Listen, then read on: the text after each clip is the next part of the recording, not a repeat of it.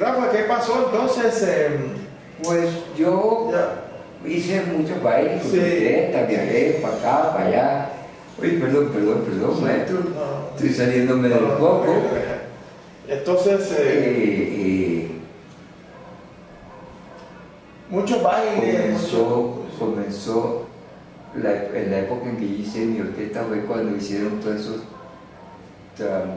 trampeos con esas tales disque chucuchucos que sacaron nuevos ahora. Ah, la época del reencauche. De- No, no, no, de, de toda esa música que suena ahora, toda esa música que suena ahora que es un fastidio. Señores, allá les digo que es un fastidio, somos un fastidio, por favor.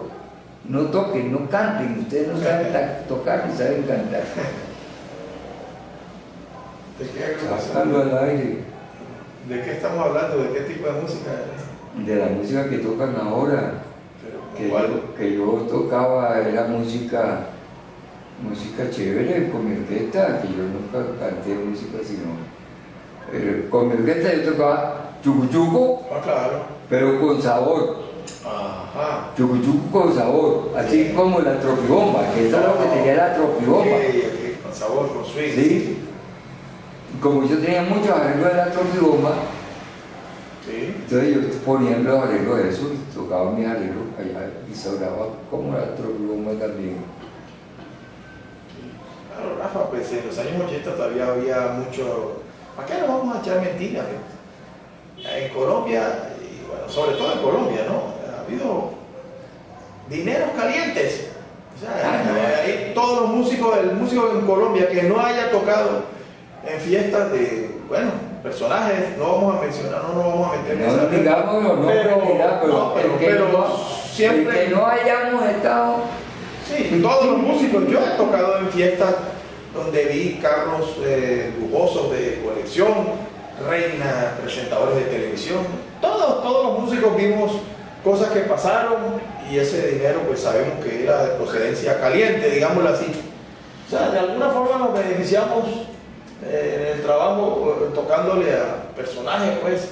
a personajes de esos, a Sí. muchos personajes, yo estuve donde muchos personajes. Sí. Y por eso, haber estado por allá, me iba metiendo en un problema en la fiscalía y me llamaron que declarar que yo porque firmaba esos libros Ah, como invitado, como, como asistente a su casa, ¿sí? sí, a sus casas, sí.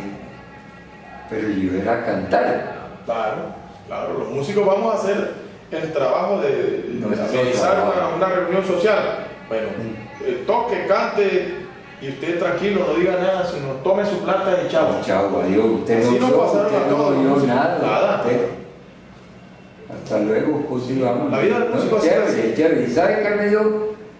A mí todo eso de, de- de los programas con, con, con todos esos personajes altos, el haber hecho el primer programa que hice con la media torta, el de la reinauguración de la media torta. Ah, claro, el teatro al, aire, la media torta. Sí, Allá arriba, arriba de la Candelaria. Allá se presentaron también con orquesta. con, con- es que cuando hubo la reinauguración, Sí. la embajada japonesa y la embajada inglesa Sí. regalaron, regalaron a su vez los equipos, Sí, la parte técnica y todo lo que lo, Sí, que sí. puso la, la- una marca. X y, y, y, y qué Bueno, ¿y quién ¿Cómo está? es la cuestión? No, estamos hablando, ahí animaba Pacheco y el gordo. Pacheco y el gordo. O sea, serían esas variedades. Estaba variedades también, entonces yo también hacía esa variedad, hacía el otro programa, hacía esa variedad de eso, eso pasábamos por todos lados, pasábamos por... Había ambiente de orquesta. Chévere, chévere, chévere. Todas las orquestas tuvieron una, una temporada buena. Sí, claro, pues, ahí va pero más que todo los solistas, los solistas. solistas. Los solistas que, que, que íbamos a programas buenos de aquí, a todos esos programas de, de, de, de, de GES, de Oh, espectaculares es Jimmy, el show de Jimmy. Jimmy, Salcedo, todo esto, eso eran los programas que veían aquellos señores y veían lo que llegaban ahí, para acá. Tú me ves que yo estoy alternando ahí con una leonera, Sí. estoy yo alternando Sí, con una sí, leonera. sí, sí, así es. Sí. Entonces, entonces Bueno, eh, me, me vieron ahí, yo nunca había visto tanta plata juntar, la verdad. Díganle que le pagamos tanto y que venga. sí, claro, claro.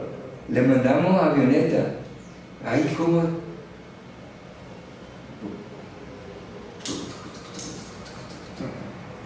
Bueno, sí, y eso también me sirvió Sí, claro. bastante. Bueno, amigos, estos son temas un poquito, no sé, sea, más sí, más fuertes, pero, pero fue una realidad que todos los músicos, la mayoría de los grandes músicos de orquesta, pasamos por esa época, ¿no?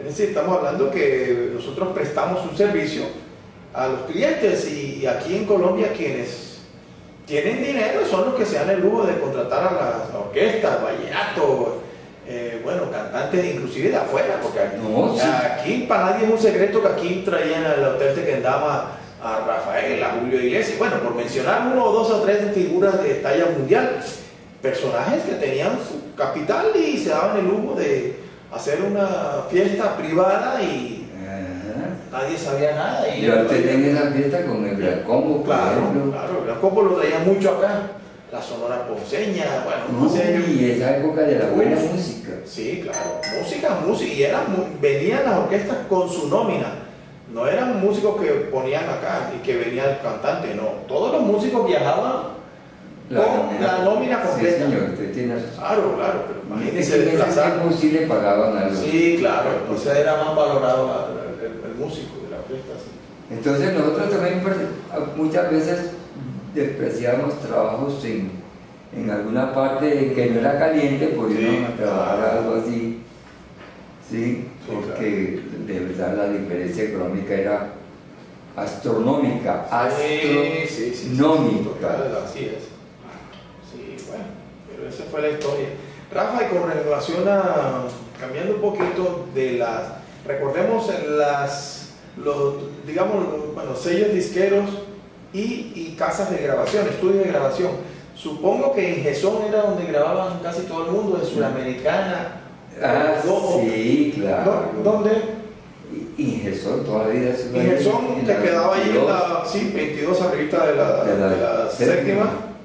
¿No está ya? ¿Ya no está? No, ya eso ya lo compró el distrito y hicieron un edificio, ya eso, todo eso. Ya, Ah, sí, ya está cambió bien. todo. Sí, exacto, sí, sí. Ya todo eso cambió. Los estudios eran análogos, con cintas y todas esas cosas. Ya.